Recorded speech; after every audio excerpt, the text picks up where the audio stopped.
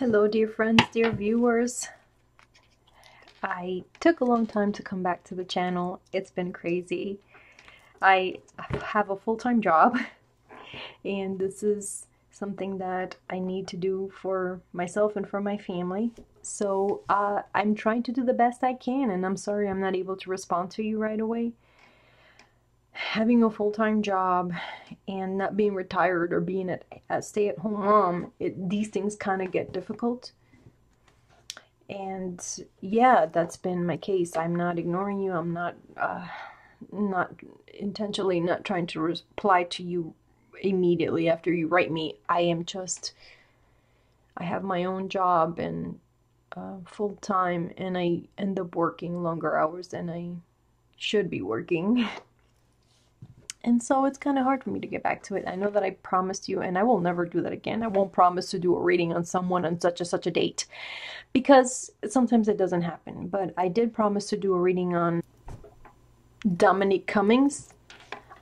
I know I did plan to do a reading on Dominique Cummings, and I never got around to it. Two days after I promised, I'm here trying to do it. But before I start that, oh, by the way, here are my cups. Yeah, I did them this morning. I usually do my cups like when I wake up in the morning. I live on the West Coast and I work East Coast hours because my clients are on the East Coast. So I wake up pretty early and I do my coffee and then I do a little espresso on the side. And so I make my, my meditation and my coffee really early in the morning and then I just save them until I'm done with work because I can't concentrate if I have things on my mind on on this. I, it, it just doesn't go through my head. I can't. So i basically have to be done with my workday and done with my chores before i can actually sit down and read them and give you an accurate portrayal of them so he, and nonetheless here i am. And i especially want to thank suellen peters. She is always so wonderful sue ellen you encourage you encourage me so much and uh, you inspire me and you're so honest with your answers and so humble. I really um, enjoy your comments. Keep them coming. Um, and she said that she and a few other of my viewers that they will be interested in learning the tarot now first i want to do a disclaimer i am not saying that i'm oh i'm the tarot master i'm not I don't know anything about chakras. I'm not anyone that knows about that stuff or past lives or anything like that. I barely know a little bit of astrology from what I've heard my whole life.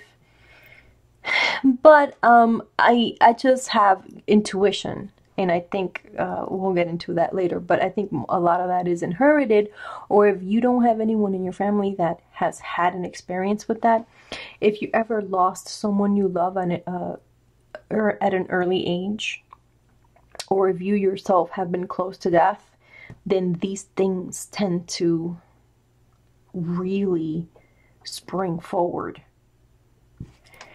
And so I wanted to share that with you because I think it's important. I think that a lot of the people that are here on this channel are here because they have faith and they have even if they don't have faith per se in the normal things that you should or that you're expected to have faith in, they know that there's something else out there. And so I would say that for me, a lot of it comes from, you know, being um, a small child and um, being close to death. I was very sick as a small child. And then I lost someone that was very close to me. I told you guys, my brother. And then as a teenager, I lost my father. I think these things have really uh, opened up my intuition. And also, um, like I had mentioned before, being kind to animals above all. This will, the floodgates will open. I am not kidding you. I am not kidding you. I don't know what the mystery is, but I swear by this, and my mother swears by this, and her sisters swear by this. If you feed animals, if you are kind to animals, your intuition will burst open. And I'm sure a lot of you already know that. I don't have to tell you. So anyway, like I said, I'm not a savant. I don't know much about the tarot, but I was always interested. And I told you guys that when I was a kid, I went to Barnes & Nobles and I bought this tarot deck. So anyway, here's what I gather from it.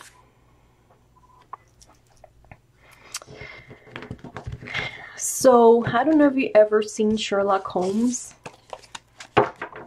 if you ever watched BBC Sherlock Holmes with uh, Benedict Cumberbatch, you know that he has a memory palace or he has a way that he memorizes things. And so I'm going to try to teach you that. Uh, if you want to learn about the tarot and its history, I'm sure you can Google it. I'm just, uh, I'm more of a good student than a good teacher. I'm not very much of a great teacher. I'm more of a good student, so I will try my best. Uh, but I will just share with you what has helped me. And here we go. So, the Fool. This is the beginning. Think of it as a journey. So the Fool is number zero, the first card, the first major arcana on the tarot deck. And I, if you want to learn the tarot, I suggest you start with the Rider Waite tarots. I don't know, there's something so powerful about it. The imagery, the significance of each one. And I think this would be the most powerful and most effective deck to start with, in my opinion. So here we have the Fool, and the Fool starts his journey. And think of, about it as a child being born. Number zero, you start from scratch. You're innocent, you're uh, temperamental, you cry anytime you want anything, you don't know how to get what you want. You're basically dependent on others' wisdom to help you achieve your goals. And there's a dog trying to tell him, don't jump off a cliff. So think about it as, as a baby. You know, they don't know anything. The magician. Here is the promise that you would be. So the fool is a, is a male, by the way. Sorry, the fool is a male. So think about it as a young baby that was born. And so here's the magician. Here's what is promised to that baby. There were the wands of action, the symbol of action. There's the cups of symbol of emotion. They're the pentacles, the symbols of attainment. They're the swords, the symbol of intellect. The magician you will grow up to be. The infinity, you have the chance to redo yourself, reinvent yourself over and over. The candle on both sides, there are light to good and bad. You can learn from your bad choices, the light down here, and you can learn from your good choices, the light up here. Now, there are many other symbolisms to this. There's flowers and many symbolisms, but let's keep it simple. This is the promise that is for you. The High Priestess, the number two. Now she has the temples of Solomon. You have uh, strength and you have what you found is good or with God. These are the two pillars. But she's also learning. You see, she has a scroll. You need to learn. You need to have a good foundation. She has a veil, which means secrecy. The moon means secrecy. That's all these cards, I'm just giving you one or a few specific meanings. They mean many things, but for, for simplicity's sake, let's just go down that road.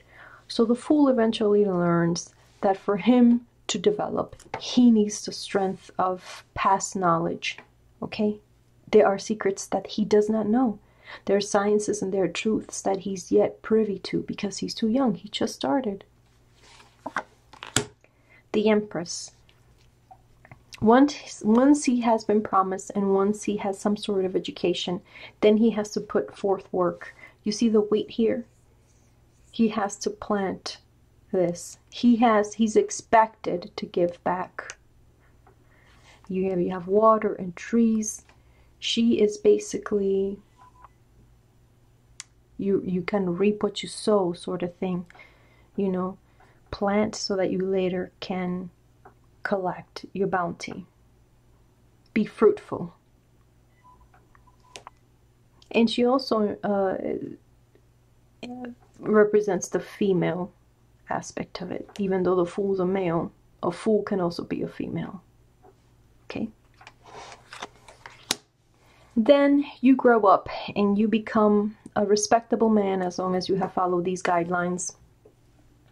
A respectable man sitting on his You see how always this seat has struck me as being of cement or concrete or something like that, not wood or anything that you could come back in a hundred years and then it's all chewed down.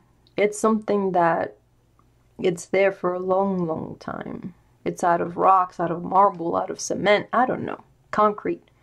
This is a seat where you will not be the only one to occupy it. And he's holding something in his hand. He's holding something like a fruit, something that one day, one day will wither, even though the chair won't. So, what that means to me is that his reign on this chair will be a lot shorter than the chair itself. I know that sounds terrible, but. And also, you know, he has a gray beard. Beard that could also mean an old man. Now, I'm just keeping it simple. This is very complicated. The tarot is very complicated. I'm just giving you things that have helped me remember, like a palace, a memory palace. Then you have the Hierophant. You become a you become a successful man, a respectable man, and now you have to join society. You're not just alone in the chair. There's other people around you. And they expect of you. These people look like they're waiting for you to do something or say something. So they expect you to give back somehow to society, to the norm, to the way things are ran, run, so that is the Hierophant. After you do that and you become a successful man on your own, you fall in love and you marry the lovers. And you realize that life is not just business, that life is not just ambition, that there are very different aspects of life that can make you very happy, not just those of learning and ambition and success. There are other parts of life that can make you euphoric, that can give you health. You see how these people are uh, not shielded by clothes, they're not afraid, they're healthy, they're strong. You have to be brave. They're bearing fruit. And there's an angel above them, and there's the sun saying, Yes, this is your path, this is how you should go and that's lovers. And then the chariot, which means succor and help, which means you're not alone, there's someone else with you. Perhaps your wife or your husband or the people around you, the people that love you. You know that in order to have power, you need help. You cannot be alone, no matter how brilliant you are, no matter how successful you are. To be alone is to fail. And after you've achieved that, then you find true strength in yourself by yourself. You're able to tame the beast, not with violence, not with uh, cruelty. But look at her face. You know, she has the infinity of the magician. It's like she'd already used all the suits. She already she already knows how to handle the wands, the cups, the swords, the pentacles, the light of good and bad. She's already uh, showing her kindness, her forgiveness, her courage to a creature that yet does not know this. And therefore, she has true strength. And those were the good parts of life. But then, as we all know, life is life is full of good and bad of ups and downs. And so here are the bad things, or here are the bad experiences, or the bad emotions, or the natural evil things that come your way. So the hermit in the writer in the Rider Waite's means corruption and uh, evil and secrecy and all the bad things that have to do with it. But it could also mean seclusion. So you have not always been the strong one you have not always been backed up and have all the people in the world to help you. You have not always been the loving person. You have not always been the one to rise to the occasion when it comes to your peers. You haven't always been the emperor, the honorable man. You have done things that have, that only maybe you know that are not very honorable. You have not always worked as hard as you should, or or or uh, try to put forth good. And so yeah, so so that's that. Here's the hermit. That's the the the imperfections of our nature. The hermit is corruption and lies and hiding. And it could also mean it could also mean introspection.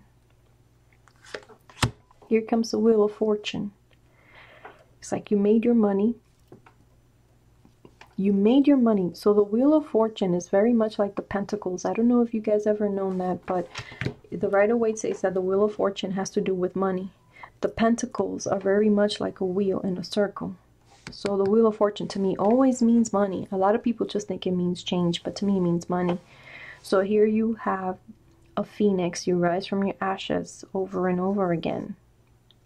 And she's holding a book. Knowledge will bring you forward. Here you have the temperance. You see over here, the temperance is emotion, but the temperance also had to learn to have emotions. The phoenix also had to learn how to rise from her ashes. Here you have the bull. The bull is strength and, and down to earth and nature. It roams pastures. Is also had to learn how to make the money, how to make things happen. And you have the lion that is full of courage and everything that's emotion. And he also had to learn. But also this means there are many other symbolisms. I'm just going by the most simplest one. This also means money. So it just means that things can change, that uh, and also means wealth and money and, and inheritance and and an exuberant amount of luck. And then that can run out. Whatever you did in the past let's say you were the hermit and you did corruption and you stole and you ran away with information then you have to face justice. Justice will measure you. It's like another emperor judging you. Someone that's been in your own seat judging you, but this one has a crown and it's younger. It's younger than the old guy you were before. And it has the sword to cut you. Okay. So it depends on how you maneuvered. This is a card that will judge. Then you have the hangman. The hangman to me can mean you being hung It could mean the death penalty, it could mean death, it could mean murder. But also the hangman, the hangman could also, you see how his head is illuminated? It also means that that you're looking at things from a different perspective. He looks very much alive. He doesn't look dead. His head is in a it's being is radiating light. So his world his even his physical being had to be turned upside down for him to finally get the point, to finally get the picture. Now, whether you will finally get the picture or you will be murdered according to your crimes, here comes death. And death is death. Death can mean the reinvention, start all over again. But usually, a lot of people say that death is not a good card I mean, it's not always a terrible card. It depends on the other cards, specifically the other major arcanas. But death is the end, is the end of your journey. The fool is done. He was given he was given the tools, he was given the love, he was given the pillars, he was given the support. And so now he was judged and sentenced, and now whether he will start again or die depends on his actions. Here you have the temperance. So if the fool was innocently and benevolently made mistakes and now he is to be redeemed, you have the temperance. So you remember last time I said um, the lovers and the devil? This is the angel and the lovers as well. And she's holding two cups, no longer two people, no longer two uh, sentient beings, but their emotions and what is to be remaining of them. Their bodies are gone. Their bodies have been burned, uh, buried, or uh, have died, And now all that remains is their deeds and their emotions and how they behaved. Okay. And so if you did, this is your chance. If you were good, if you tried your best, you are given another chance by the temperance. However, if you didn't, you will go to hell. You will go to the devil and you will be chained. Now, when you're reading the tarot, think of these things. Think of this story. When you're reading it for someone, I'm not saying that they're evil people and that they're going to go to hell. That's not what I'm saying. But let's say you had someone that wanted to, let's say, let's say they wanted to graduate from college, right? And all they did was drink and they failed all their classes. This card will probably not pop up. This is the card that will pop up. You've created your own hell. You've created your own circumstances. I mean, you can change them, but yeah, this is what that kind of mean. That means that the fool made its uh, the, the decision that the fool made were not to his advantage even after his death. Oh, by the way, okay, so let me go back a second. So this is after you die. This is after you're dead. You either go to heaven, you go to hell. Okay. So let's say you did go to hell. I I honest I don't believe in hell personally, but I'm just using it as, you know, according to the major arcanas. So let's say you did go to hell. Here on earth, what remains of your legacy, what remains of your family, what remains of your home is destruction. Is destruction. You made every single wrong move. And it not only affects you, it affects your environment and everything your legacy, your work, your home, your family, your people, you physically as well. This is what the tower means. But let's say you didn't that you you re really did emphasize or you you the temperance did come to your rescue. You have the star. Yes you're dead so you're losing here but you still have hope because you did good and you're judged on your on, on your journey. Your journey was one of good intentions and of well-being and of trying to do what good to others and of sacrifice. And so therefore the star gives you hope. But what is that hope that the star, stars gives you? This you leave in the back because the star is that. You see how it's nighttime in a way? Somehow the birds are up. but how can the stars be out when the birds are up? You get it? Like she's picking the water from here and she's dumping it here. So it's a complicated card. It means it all depends. It all depends. That's what the star is, but not all is lost. The moon. The moon is secrecy. The moon is self destruction. The moon is hidden enemies. Is that what you're going to choose? Is that what your actions have led you to? We don't know. Maybe. And here are the two pillars again. The two pillars let's see let's say you didn't choose hidden enemies let's say you didn't you weren't evil you were you weren't intentionally taking these roads and different courses. Let's say you were the sun so then everything is forgiven everything is okay. The path the road will be opened for you.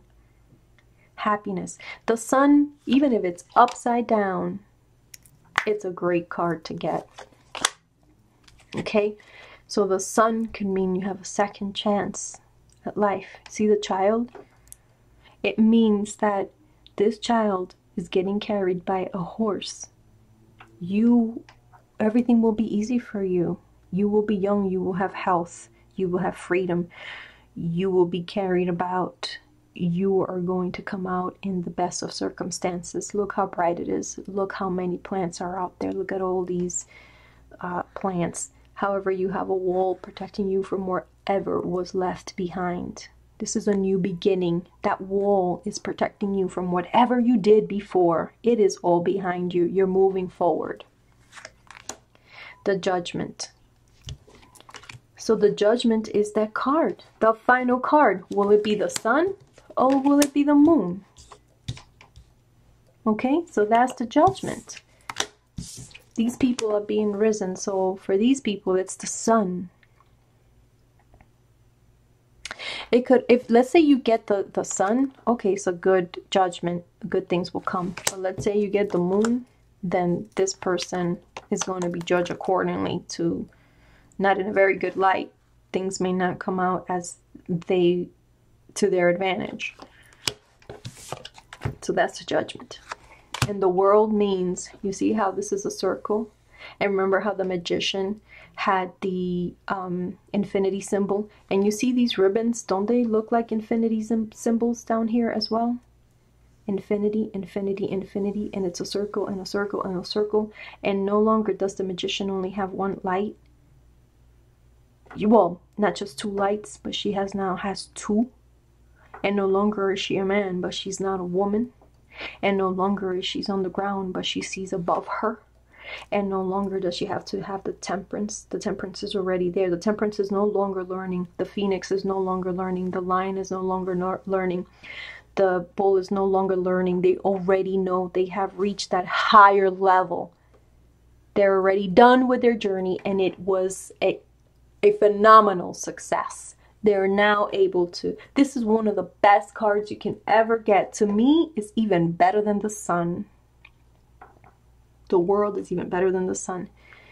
So yeah, that was my personal intuition take on the major arcanas. Now, they mean a lot more, and I will discuss with you. These cards were made uh, a very long time ago, and things were very different back then than they are now. And now you can, with your own intuition, kind of acclimate them to our modern world. And on my next lesson, I will show you that as well. Thank you guys for listening to me. I am I am not a great teacher. I am not a savant. I do want the best for everyone and I hope to bring peace and some sort of hope to you all and that's why I'm doing this. I appreciate your respect and your help and your uh, interest and curiosity. Thank you so much.